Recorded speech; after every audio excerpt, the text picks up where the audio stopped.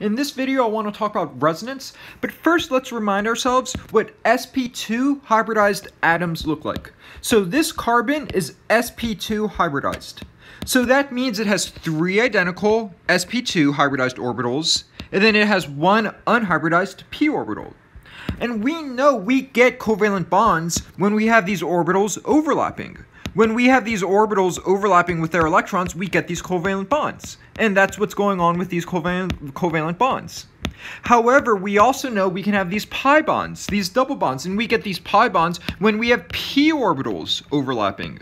So we know the shape of these p orbitals are these dumbbell shapes, and they can have electrons and they can overlap, and that's where we get these double bonds from. And the reason why I'm focusing on these sp2 hybridized atoms is because you'll commonly see resonance associated with sp2 or sp hybridized atoms. So let's look at this car this co compound with this carbon anion. We know this compound can go through resonance. It can go through resonance structures where essentially these lone pairs of electrons fall down, forming a double bond. So we see that here. And then when it does that, it pushes these pi electrons up onto this oxygen, uh, pushing these these blue electrons up onto the oxygen, creating this this compound. So we know this compound can go through resonance. It can go through resonance forming this structure. However, why do we go through resonance in the first place? Why does this compound go through resonance, forming this structure and then forming, of course, a hybrid resonance structure? Why is this occurring in the first place? Well, before when we had this compound, we had this formal charge of negative 1 on this carbon atom. So we had a lot of localized negative charge with a high charge density, which we know is unstable. Localized strong charge densities aren't stable. However, if we go through resonance, we can delocalize that negative charge. We can spread out some of that negative charge onto the oxygen. And then we form this resonance structure where, again, we're delocalizing that negative charge over a larger region. Instead of that negative charge being localized on this carbon, or that negative charge being localized on this oxygen, now that formal charge of negative 1 is delocalized over a larger region, over these three atoms, with a small charge density which we know is stable. So that's why we go through resonance in the first place, to delocalize charge, so we don't have localized high charge density regions.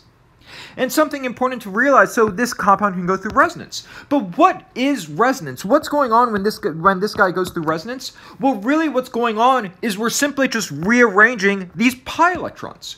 These are these electrons are in pi orbitals, these p orbitals, so we're just rearranging the electrons in these p orbitals. For example, we know this compound we can we can focus on it just showing its p orbitals.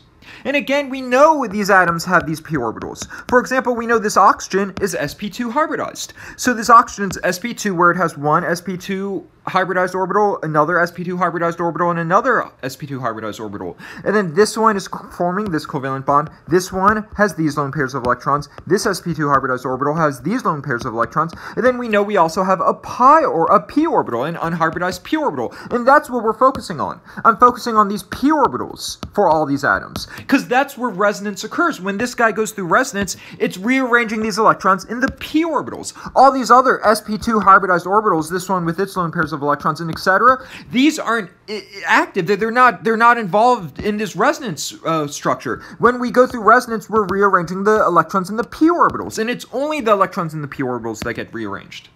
So again, so what exactly is going on? Well, we said these lone pairs of electrons fall down, and when they fall down, they push these pi electrons up onto this oxygen.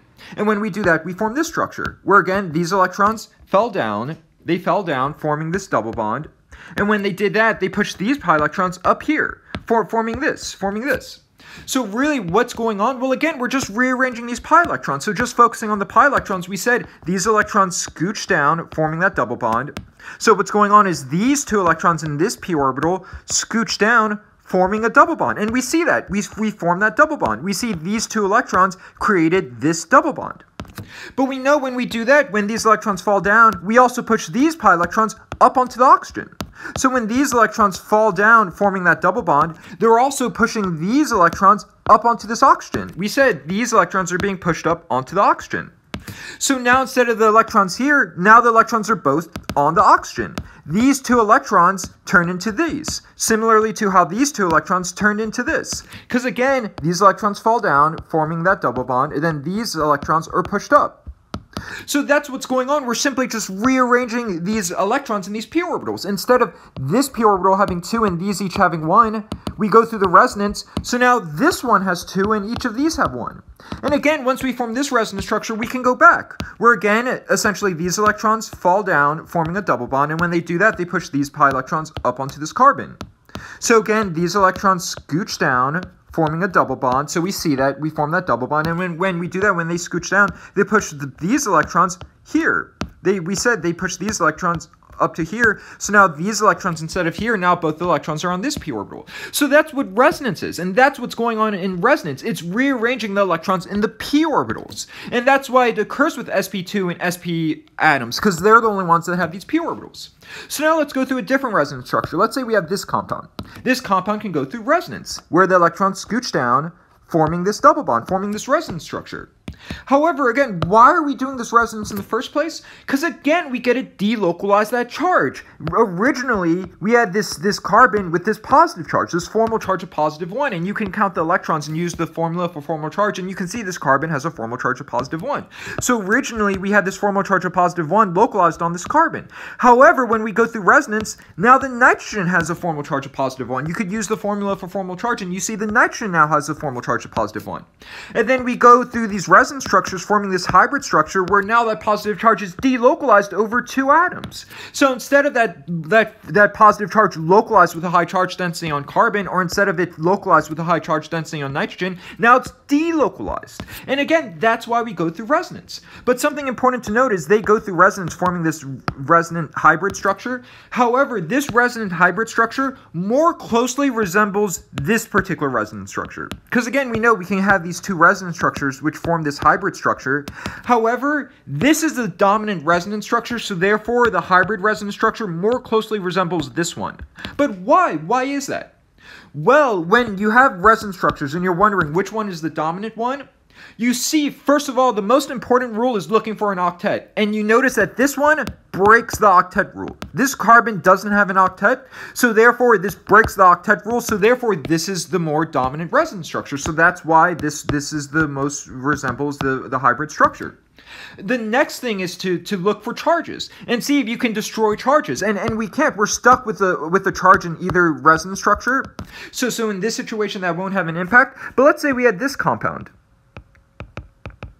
with a negative formal charge on this oxygen and a positive formal charge on this carbon, we can go through resonance where the electrons fall down, and when they fall down, we form this structure with no formal charge. So therefore, this would be the dominant resonance structure. So, so that's another thing, is, is you want to destroy charges, because again, nature hates strong charge densities. And again, the last thing is if you're stuck with the charge, let's say you're stuck with the charge, then the resonance structure where the most electronegative atom that atom should get the negative charge. In the resonance structure where the most electronegative atom gets the negative charge is the dominant resonance structure. And the same thing if you have a very electropositive atom. That atom should have the positive charge. And the resonance structure that has that atom with the positive charge is the dominant resonance structure. But again, so we know this guy goes through resonance. We know it goes through resonance. And again, what's going on when this guy goes through resonance? Again, we're just rearranging these pi electrons. Again, focusing on just the p orbitals with their pi electrons.